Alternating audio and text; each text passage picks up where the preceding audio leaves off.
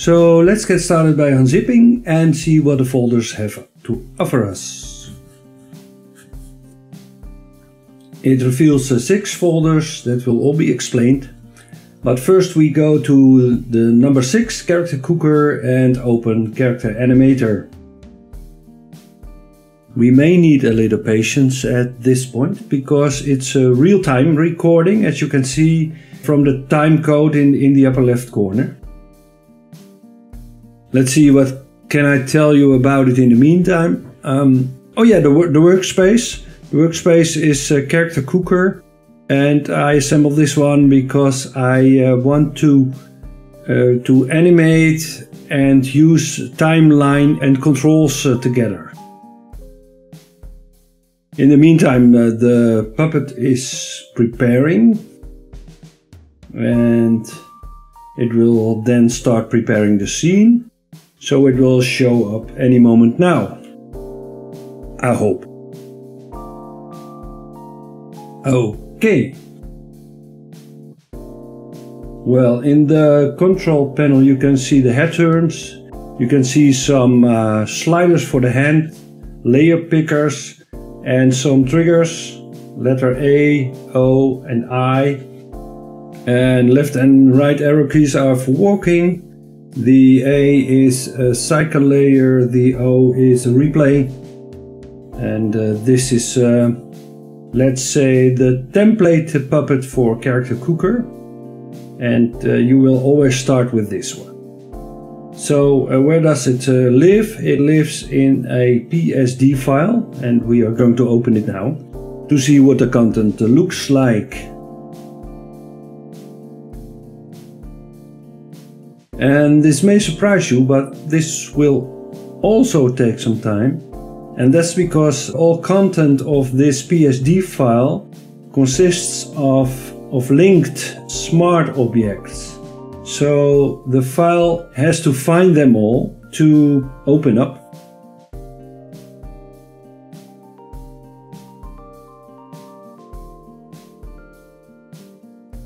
Real-time recording, remember,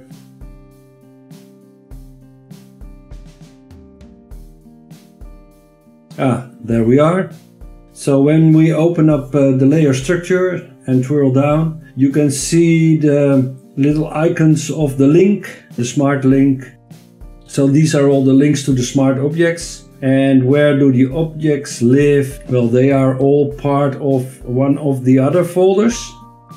You can see there there's a, a sequence of uh, face parts, there's a sequence of head tweens, and uh, there's a sequence of body parts. Okay, and where do they all come from? Well, they come from Adobe Animate, Character Cooker template FLA, and this is where all the magic happens. So let's fit the window in the screen. Uh, so you can see I made some instruction on how to work with it. Uh, first unlock uh, the first layer and then you can start changing the face. You could use the library items for that, but you can also click the face in the blue circle and where you click the item will uh, show up.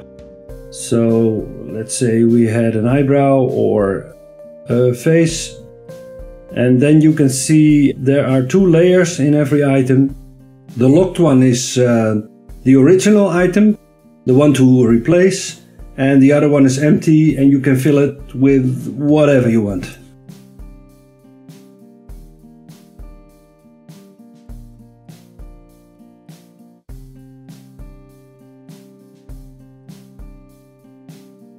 And when you're happy with the result, you can just uh, throw away the original one and uh, move over to the next item.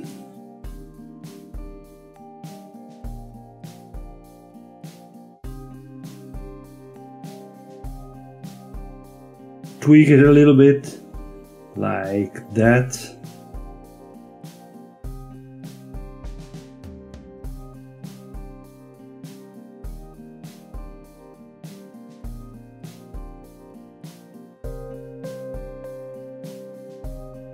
Okay, let's move over to the ears. Uh, same story here.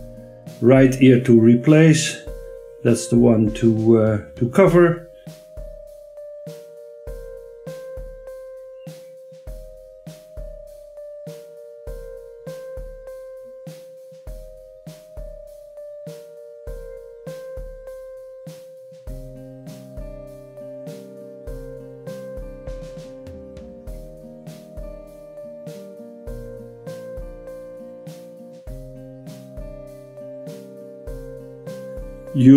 Notice I did not uh, move the original one.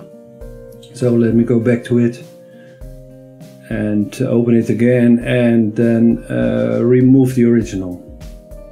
It's not always necessary and you can always undo in this uh, stage, but it will do for now.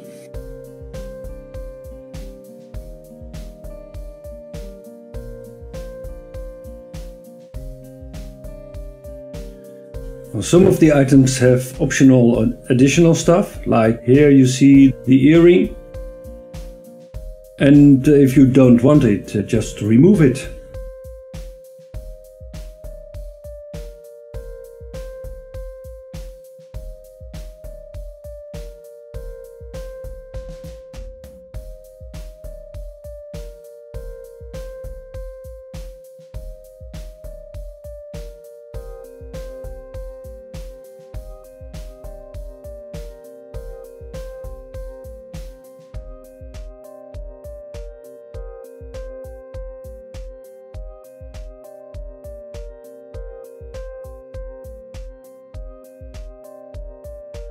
The eyebrows are done with the same procedure, of course. Um, I can't make it simpler than it is.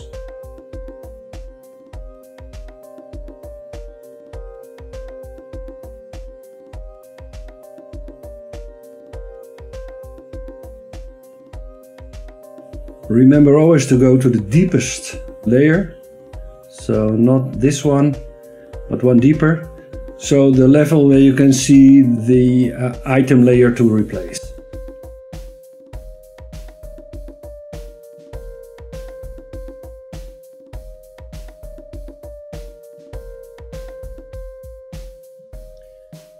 Okay, just make your changes any style you like. So there's no restriction at all. So if I want some lines here, that would be okay.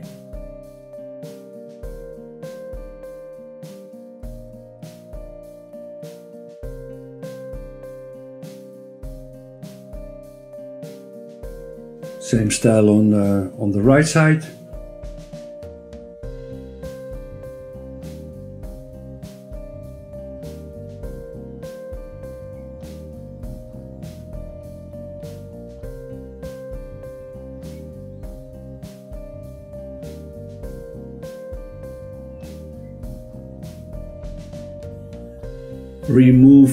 Original back hair and uh, place some new.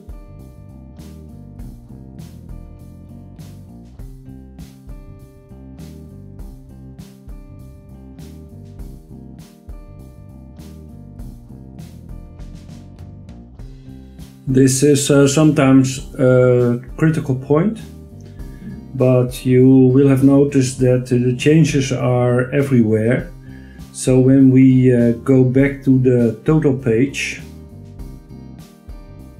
we get an overview of all the head positions.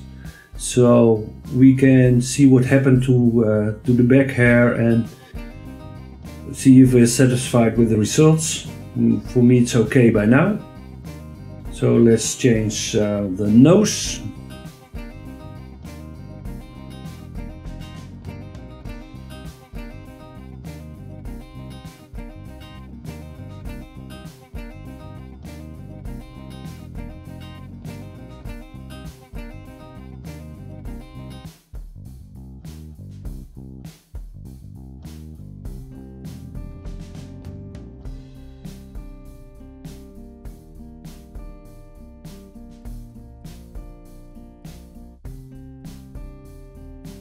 get rid of the original one. And now I can show you uh, the importance of uh, selecting the, the deepest, the lowest uh, level because now I removed the beard and uh, you can still see it on the other faces. So uh, I didn't, uh, I did not select the lowest level and it's still there. So you really need to go to uh, the layer where the original is. In the meantime I uh, put some uh, lines on the sides. And I will now recover from my mistake with, uh, with the beard. I can uh, also edit the second or third uh, face in the line by opening and unlocking the, the second layer. So I can now click the beard and what you can see there is uh, there is a one pixel layer. So why is it there? Uh, it's there because uh, the beard is optional, of course, so you can leave it out. And you will need the one picture layer for the index of the smart objects that are going to be exported. So always keep this one intact.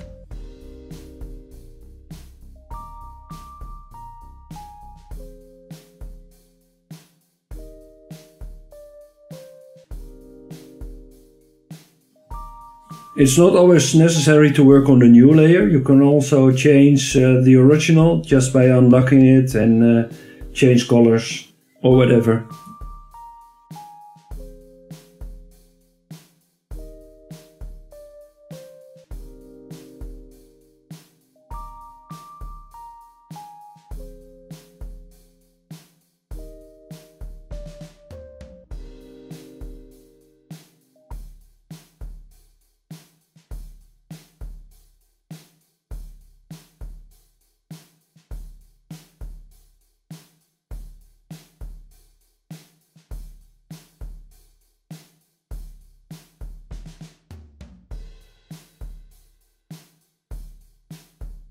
The glasses are uh, also optional items, so they have the same system as the beard. So the same story, never delete uh, the one pixel layer and you will be alright.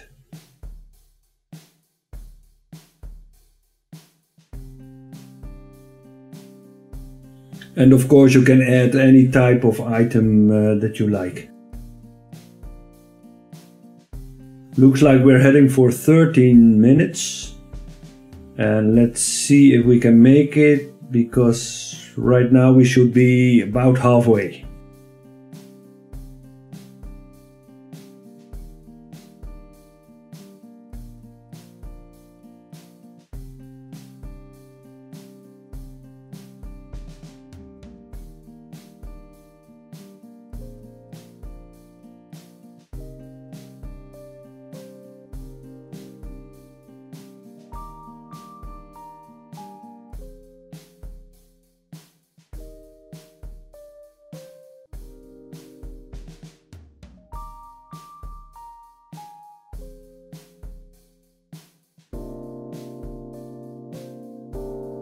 As you may have noticed, I placed uh, the blinks on top of the eyeballs in the first phase. Um, that's because I wanted to show them at least at one place. So when you want to edit the eyeballs, it, it's best to um, to select them in the second phase. And you will need uh, the second layer in the main scene over there. But you can also uh, choose them from the library items, of course.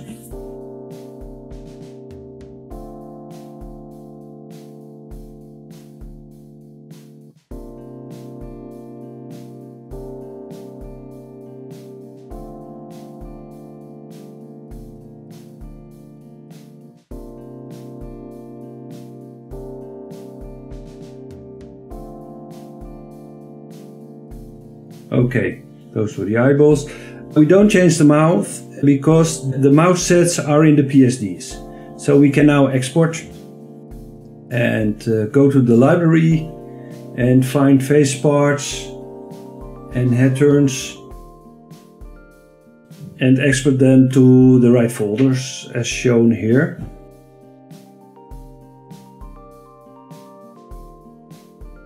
Look at uh, the DPIs 150 then go to uh, the head turns and do the same. So export PNG sequence to the right folder, look at the DPIs, and it's okay. And now we can open the other file, the, the body parts, and do exactly the same procedure.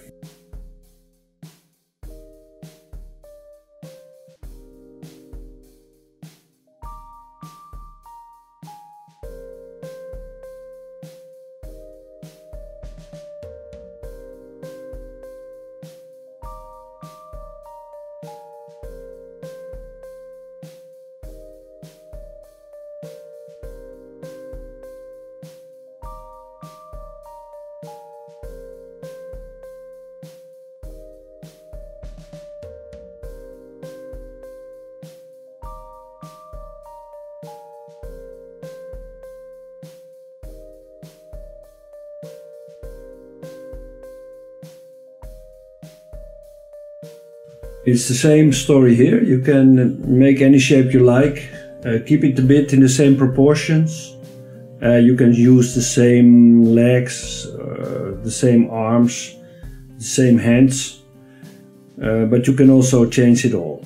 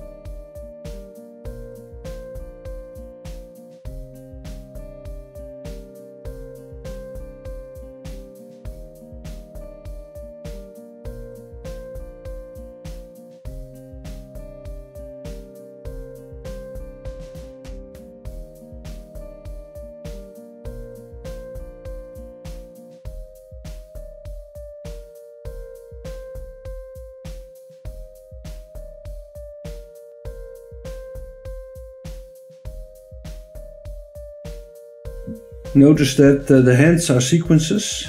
Uh, you can change all frames at once by making use of uh, edit multiple frames in the top and choose it and then select them all, change the color, select the range first of course, then select them, select the color and you're done.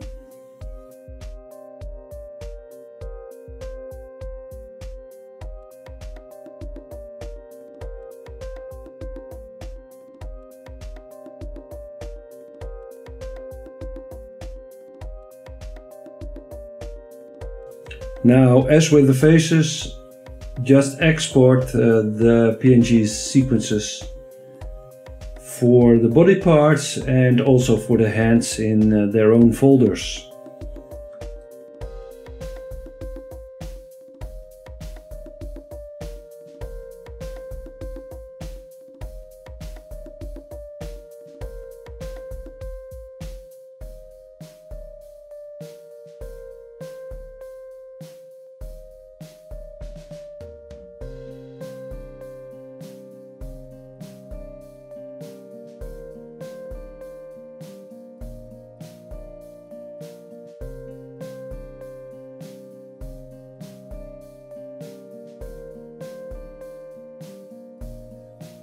Okay, now we go back to the PSD.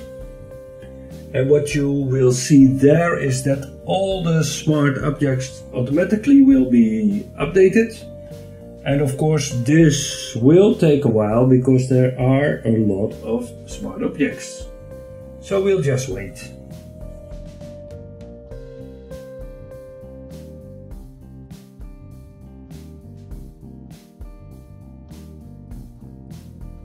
If you look at the object uh, icons, you will see uh, the yellow signs, which means that the objects are changing.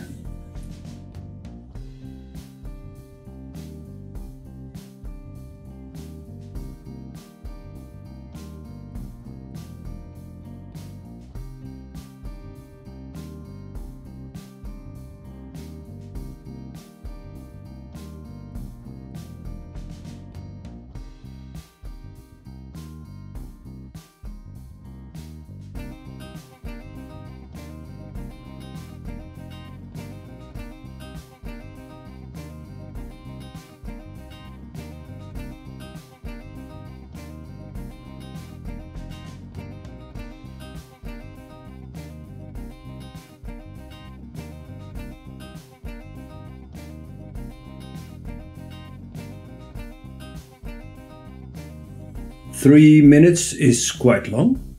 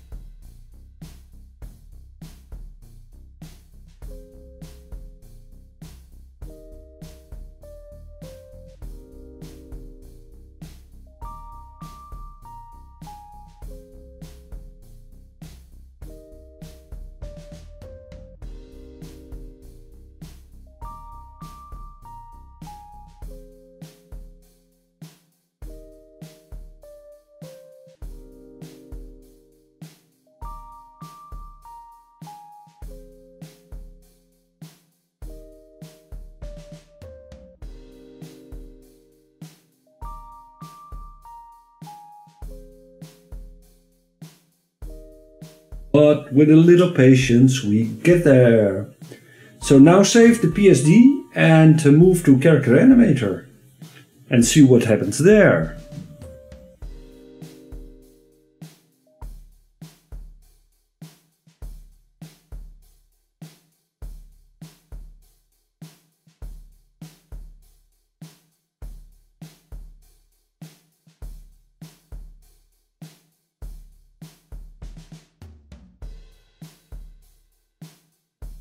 Okay, it's refreshing now and um, this is the most exciting part because will it change the way I wanted it?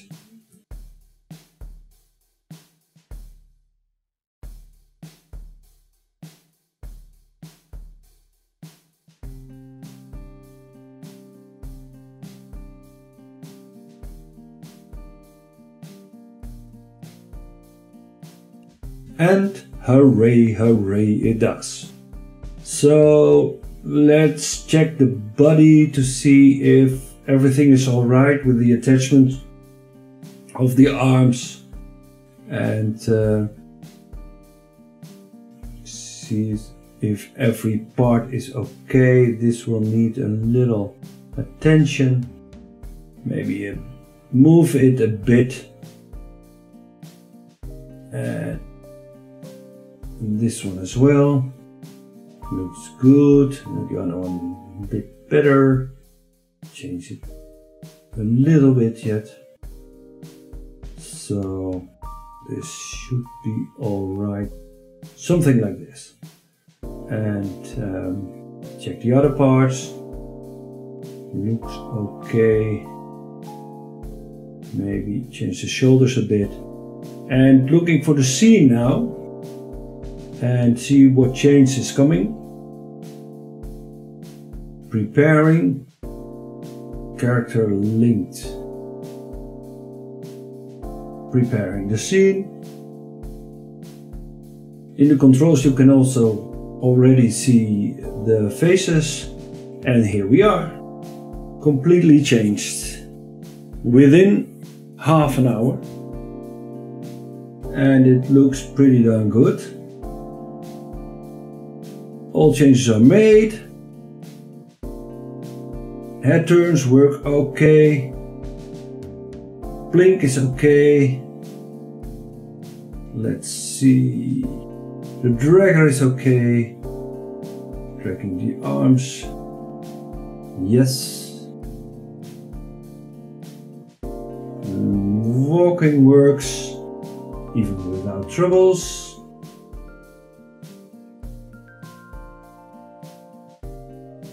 Yes, okay. The fader is not working because it's a red. head. The sliders of the hands work okay. Both sliders at once work okay. And some of the triggers are okay. So this is a replay, it's working now. It's all alright and it's all done within half an hour. 28 minutes to be precise. Well, we're done. Check the time. Oh, it's time for a beer now. So, okay.